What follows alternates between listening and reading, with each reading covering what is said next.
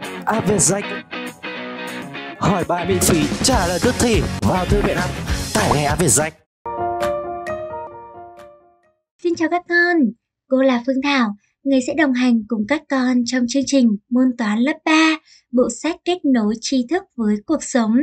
Giờ thì hãy ngồi thật ngay ngắn và cùng cô Thảo khám phá những điều thú vị trong môn toán nhé. Và ngày hôm nay, cô trò chúng mình sẽ cùng nhau khám phá chủ đề số 1, ôn tập và bổ sung. Và bài đầu tiên đó là bài 1, ôn tập các số đến 100. Bài này các con sẽ được học trong 2 tiết. Và bây giờ chúng mình cùng cô bắt đầu với tiết 1, luyện tập. Hãy cùng nhau khám phá với bài tập số 1 thôi nào. Bài số 1. Nêu số và đọc các số. Bài tập cho các con một bảng. Và trong bảng này gồm có 6 cột. Cột chứa các hình vuông, cột số trăm, cột số chục, cột số đơn vị, cột viết số và cột đọc số. Để xác định được số trăm, số chục, số đơn vị, viết số cũng như đọc số thì các con cần quan sát vào cột chứa các hình vuông. Hãy cùng bắt đầu với cột đầu tiên. Con thấy rằng ở đây có chứa 34 hình vuông. Khi đó cô Thảo nói số trăm là 1, số chục là 3, số đơn vị là 4, được viết là 134 và được đọc là 134. Tương tự như vậy, chúng mình cùng đến với cột tiếp theo. Ta lại tiếp tục quan sát thấy rằng ở đây có 245 hình vuông. Khi đó cô Thảo nói số trăm là 2, số chục là 4, số đơn vị là 5, được viết là 245 và được đọc là 245. Cô Thảo đọc lại, được viết là 245 và được đọc là 245. Tương tự như vậy, chúng mình cùng đến với phần tiếp theo nhé. Con quan sát thấy rằng ở đây có 307 hình vuông. Khi đó cô Thảo nói số trăm là 3, số chục là 0, số đơn vị là 7. Ta viết được số 307 và số này được đọc là 307. Và cuối cùng đó là phần số 4. Con quan sát thấy rằng ở đây có 271 hình vuông. Có 271 hình vuông. Vậy cô Thảo nói số trăm là 2, số chục là 7, số đơn vị là 1. Được viết là số 271 và được đọc là 271. Vậy các con thân mến, để viết được số đó và nêu được cách đọc số, các con cần biết số trăm, số chục và số đơn vị. Và tương tự, khi biết được cách đọc số cũng như cách viết số thì các con có thể xác định được số trăm, số chục và số đơn vị của một số tự nhiên bất kỳ. Các con hãy nhớ nhé! Và bây giờ cô Thảo mời chúng mình cùng chuyển sang bài số 2. Bài số 2 Số Bài 2 cho các con cấu tạo của một số tự nhiên và yêu cầu các con đi viết số đó. Cô ví dụ Số đầu tiên là một số gồm có 300, hai chục và 6 đơn vị. Vậy ta xác định thấy rằng số này có số trăm là 3, số chục là 2, số đơn vị là 6. Vậy ta viết được thành số 326. Với bài số 2, ta thấy rằng số gồm 500, không chục và 4 đơn vị. Vậy số này có số trăm là 5, số chục là 0 và số đơn vị là 4. Vậy ta dễ dàng viết được số 504. Vậy ta dễ dàng viết được số 504.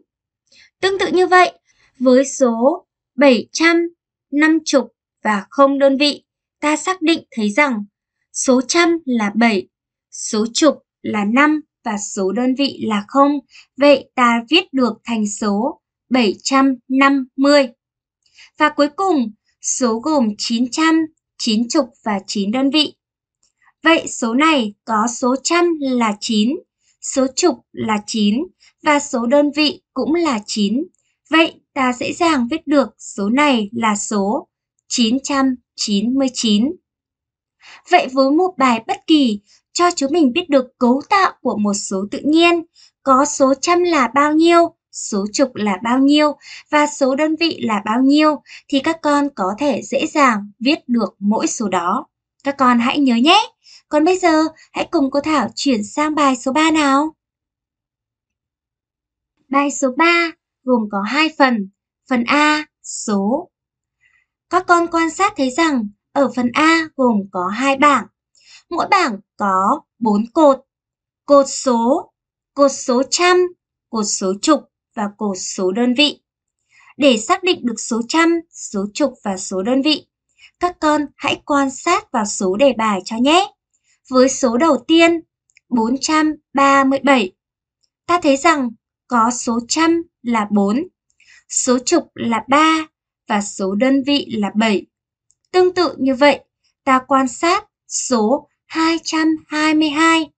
Ta xác định rằng có số trăm là 2, số chục là 2 và số đơn vị là 2. Tương tự như vậy, với số 305, ta thấy rằng có số trăm là 3, số chục là 0 và số đơn vị là 5.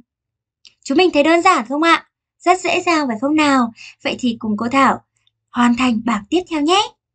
Với số tiếp theo 598, con thấy rằng có số trăm là 5, số chục là 9 và số đơn vị là 8. Số 620 có số trăm là 6, số chục là 2 và số đơn vị là 0. Và cuối cùng, với số 700, ta dễ dàng thấy rằng có số trăm là 7, số chục là 0 và số đơn vị cũng là 0 đấy. Vậy là chỉ trong chốc lát, cô trò chúng mình đã hoàn thành được phần A của bài số 3 rồi đấy. Rất dễ dàng phải không nào? Bây giờ cô mời chúng mình cùng đến với phần B nhé. Phần B, viết các số 385, 538, 444, 307, 640 thành tổng các trăm, chục và đơn vị. Đề bài cho các con mẫu như sau. 385 bằng 300 cộng 80 cộng với 5. Con thấy rằng 385 có số trăm là 3, số chục là 8 và số đơn vị là 5. Vậy con dễ dàng viết thành tổng các trăm, chục và đơn vị. Đó là 300 cộng 80 và cộng với 5. Tương tự như vậy, chúng mình cùng cô đi viết các số thành tổng các trăm, chục và đơn vị nhé. Với số đầu tiên 538. Số này gồm có số trăm là 5, số chục là 3 và số đơn vị là 8. Vậy con dễ dàng viết được đó là 538 bằng 500 cộng 80 cộng với 5. Tương tự với số 444, ta thấy rằng số này gồm có số trăm là 4, số chục là 4 và số đơn vị là 4. Vậy ta viết số 444 bằng 400 cộng 40 cộng với 4. Đến số thứ 3, 307. Ta thấy rằng số này có số trăm là 3, số chục là 0 và số đơn vị là 7. Vậy ta viết được thành tổng các trăm, chục và đơn vị là 307 bằng 300 cộng với 7. Và cuối cùng, số 640. Số này gồm có số trăm là 6, số chục là 4 và số đơn vị là 0. Vậy ta viết được 640 bằng 600 cộng 40. Vậy với bất kỳ một số tự nhiên nào, ta cũng có thể viết thành các trăm, chục và các đợi. Vậy, với bất kỳ một số tự nhiên nào, ta cũng có thể viết thành trăm, chục và các. Vậy với bất kỳ một số tự nhiên nào, các con cũng có thể viết thành tổng các trăm, chục và đơn vị. Các con hãy nhớ cách làm nhé. Còn bây giờ, cô mời chúng mình cùng đến với bài số 4 nào. Bài số 4, số. Bài này cho chúng mình một bảng gồm có 3 cột. Cột số liền trước, cột số đã cho và cột số liền sau. Nhiệm vụ của các con đó là hãy điền các số thích hợp thay cho dấu hỏi chấm. Các con thân mến, với những bài cho chúng mình số đã cho thì muốn tìm số liền trước, con chỉ cần lấy số đã cho, bớt đi một đơn vị. Và còn muốn tìm số liền sau, con sẽ lấy số đã cho, cộng thêm một đơn vị. Với cách làm như vậy, chúng mình sẽ cùng cô đi chinh phục bài số 4 nhé. Số đã cho 42. Vậy để tìm được số liền trước, con lấy 42, bớt đi một đơn vị. Vậy là 42 trừ đi 1 bằng 41. Tương tự như vậy, muốn tìm số liền sau của số 42, ta lấy số 42 cộng thêm một đơn vị, nghĩa là lấy số 42 cộng thêm 1 bằng 43. Vậy, số đã cho là 42, có số liền trước là 41 và có số liền sau là 43. Giờ thì chúng mình hãy cùng cô làm phần tiếp theo nhé. Số đã cho là 426. Để tìm số liền trước, con làm như thế nào đây? À, rất đơn giản phải không nào? Con lấy số đã cho là 426, bớt đi một đơn vị, nghĩa là trừ đi 1. 426 trừ đi 1 bằng 425. Vậy số liền trước là 425.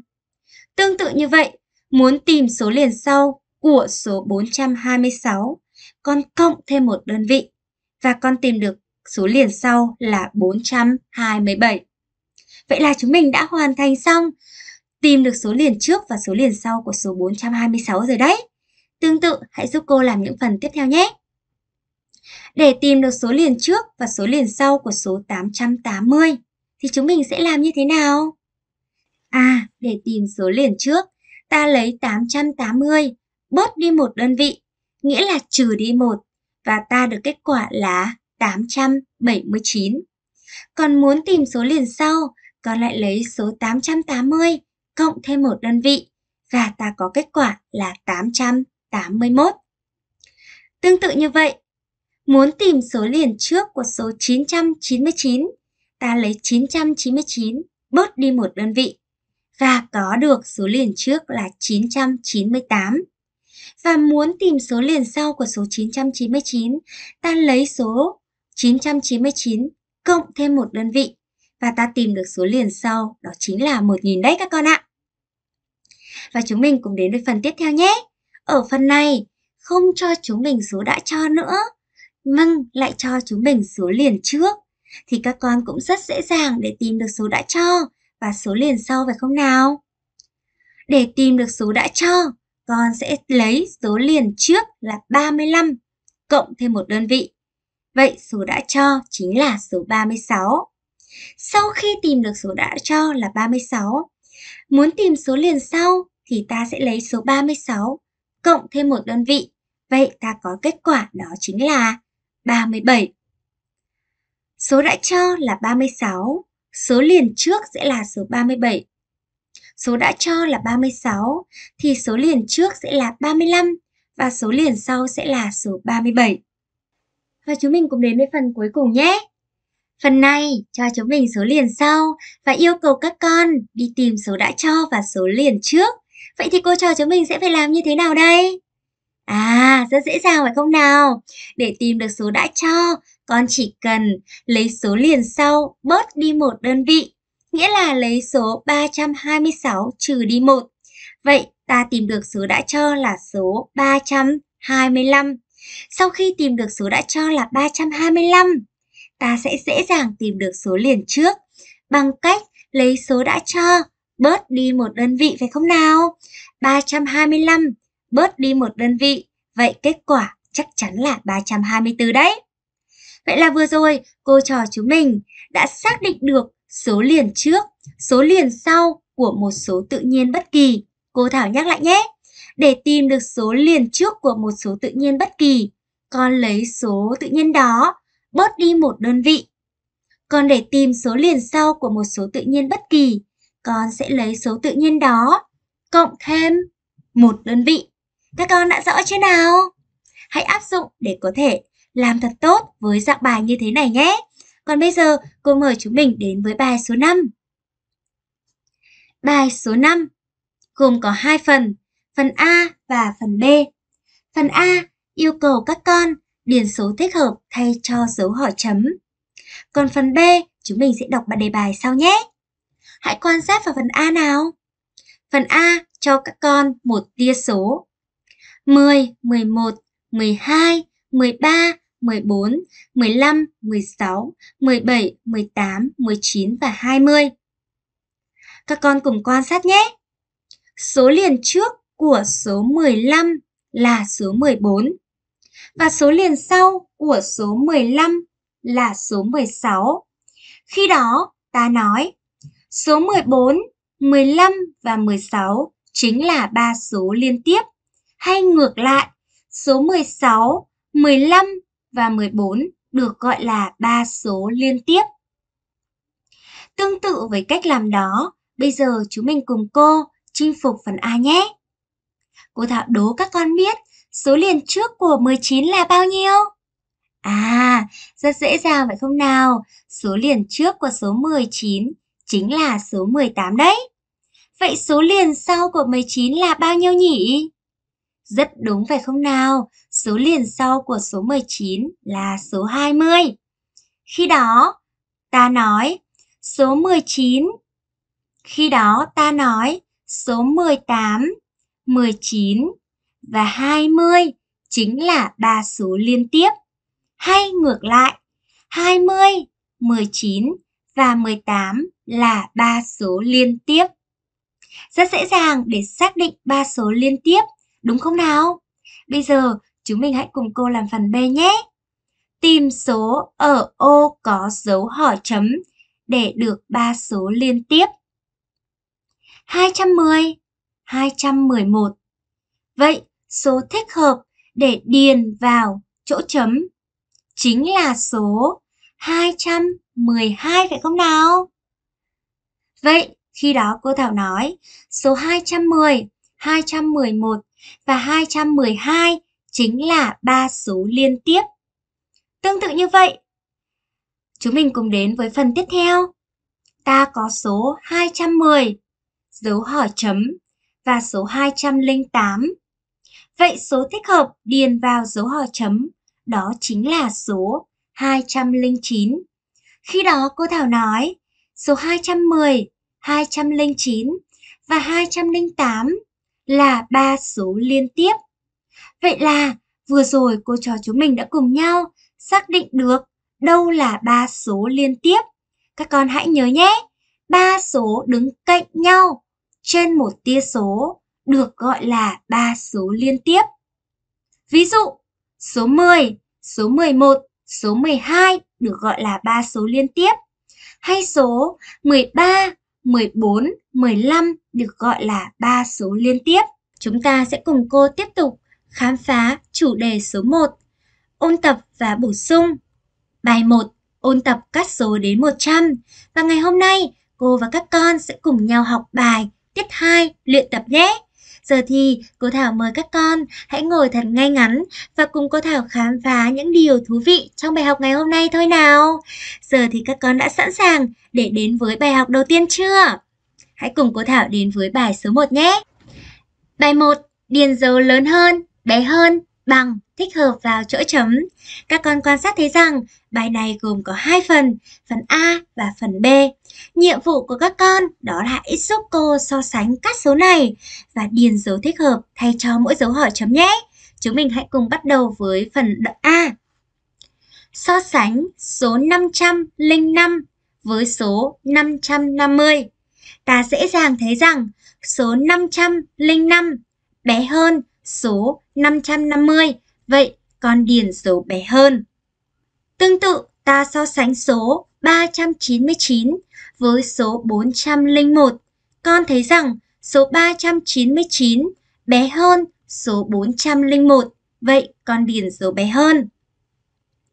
Tiếp theo, so sánh 100 với phép cộng 90 cộng với 9. Để có thể thực hiện điền dấu thích hợp thay cho dấu họ chấm. Bước 1, con cần làm đó là tìm kết quả phụ của phép tính 90 cộng 9. 90 cộng 9 bằng bao nhiêu nhỉ? À, 90 cộng 9 bằng 99 đấy. Vậy bây giờ ta chỉ cần so sánh số 100 với số 99 mà thôi. Ta thấy rằng số 100 lớn hơn số 99. Vậy còn dễ dàng điền được dấu lớn hơn. Thật dễ dàng vậy không nào? Bây giờ chúng mình hãy áp dụng cách này để cùng cô làm phần B nhé. 400 cộng 70 cộng 5 so sánh với số 550. Bước 1. Tìm kết quả phụ của phép tính 400 cộng 70 cộng 5. Các con hãy giúp cô đặt tính ra ngoài nháp và điền kết quả phép tính phụ vào đây nhé. 400 cộng 70 cộng 5 có kết quả đó là 475. Đến bước này, ta chỉ cần so sánh số 475 với số 550. 475 bé hơn 550, vậy ta điền dấu bé hơn. Tiếp theo, ta so sánh số 738 với 700 cộng 30 và cộng với 7. Bước 1, chúng mình làm gì nhỉ? À, bước 1, con cần đi tìm kết quả phụ của phép tính 700 cộng 30 và cộng với 7. 700 cộng 30 cộng 7 bằng 737. Bước 2, so sánh 738 với 737. Con thấy rằng 738 lớn hơn 737 nên con điền dấu lớn hơn đúng không nào? Và cuối cùng, con so sánh 50 cộng 1 với 50 trừ 1. Bước 1, chúng mình làm gì đây? À, bước 1, cô cho chúng mình cùng đi tìm kết quả phụ nhé. 50 cộng 1 bằng 51 và 50 trừ 1 bằng 49. Bước 2, so sánh 51 với 49. Ta thấy rằng 51 lớn hơn 49, vậy ta điền số lớn hơn. Vậy là chỉ trong chốc lát, cô và các con đã hoàn thành xong bài tập số 1 rồi đấy. So sánh các số trong phạm vi 1.000 phải không nào? Nhớ nhé! Cô tin rằng với những bài so sánh như thế này, các con có thể dễ dàng chinh phục được nó đấy. Bây giờ thì hãy cùng cô đến với bài số 2 thôi nào. Bài số 2 Yêu cầu các con điền số thích hợp thay cho mỗi dấu hỏi chấm. Gồm có hai phần, phần A và phần B. Cô mời chúng mình cùng quan sát. Con quan sát thấy rằng phần A cho chúng mình các số 310, 311. Vậy đến đây ta có thể tìm ra được quy luật của dãy này, đó là điền các số liên tiếp thích hợp thay cho dấu hỏi chấm. Điền các số liên tiếp thích hợp thay cho các dấu hỏi chấm. 310, 311, 312, 313, 314, 315, 316, 317, 318 và 319. Đây chính là các số liên tiếp. Thật dễ dàng phải không nào? Tương tự như vậy, chúng mình cùng cô làm phần B nhé. Quan sát phần B ta thấy rằng phần B cho chúng mình số 1000 rồi đến số 999. Vậy đây chính là dãy số giảm dần. Dãy giảm dần. Đây chính là dãy giảm dần. 1000 bớt đi một đơn vị thì được 999. Vậy, lấy 999 bớt đi một đơn vị thì được số 998. Số 998 bớt đi một đơn vị ta được số 997. Số 997 bớt đi một đơn vị ta được số 996. Số 996 bớt đi một đơn vị được số 995. Tương tự, lấy số 995 bớt đi một đơn vị, ta được số 994. 994 bớt đi một đơn vị, ta được số 993. Và số 993 bớt đi một đơn vị, ta được số 992. Và cuối cùng, lấy số 992 bớt đi một đơn vị thì ta được số 991. Nếu như phần A là dãy tăng dần, thì phần B là dãy giảm dần. Chúng mình lưu ý một chút về phần B nhé. Và bây giờ, cô mời chúng mình cùng đến với bài số 3. Bài 3.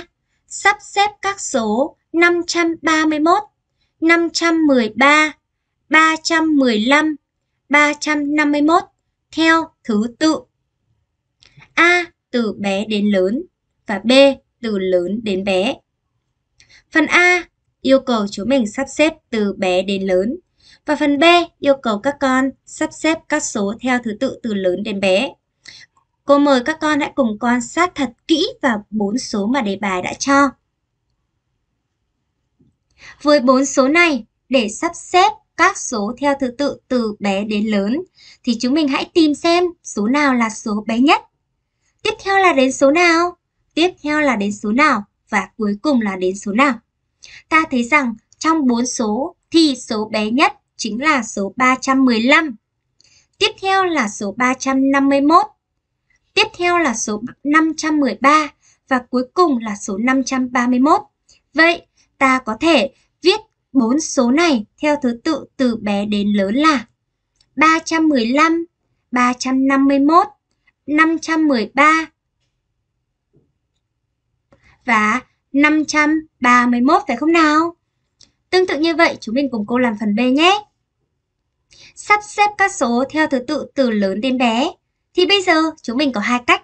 Cách thứ nhất là các con sẽ viết ngược lại từ lớn đến bé. Cách thứ hai là chúng mình sẽ đi tìm số nào lớn nhất, rồi giảm dần, giảm dần và giảm dần. Con quan sát thấy rằng ở đây số lớn nhất đang là số 531 Tiếp theo đến số 513, tiếp theo đến số 351 và cuối cùng là số 315. Vậy con có thể viết được các số theo thứ tự từ lớn đến bé đó là 531, 513, 351 và 315. Vậy là với một bài cho các con các số, các con sẽ rất dễ dàng để viết các số đó theo thứ tự từ bé đến lớn cũng như từ lớn đến bé. Bằng cách chúng mình sẽ đi so sánh các số. Đúng không nào? Vậy để làm tốt được bài này thì các con sẽ phải làm tốt được dạng bài so sánh. Các con hãy nhớ nhé. Còn bây giờ cô Thảo mời các con đến bài cuối cùng trong bài học ngày hôm nay. Đó chính là bài số 4. Bài số 4 yêu cầu các con điền các số thích hợp thay cho dấu hỏi chấm. Cô Thảo có bài toán như sau ba con lợn có cân nặng lần lượt là 99 kg, 110 kg và 101 kg. Biết lợn trắng nặng nhất và lợn đen nhẹ hơn lợn khoang.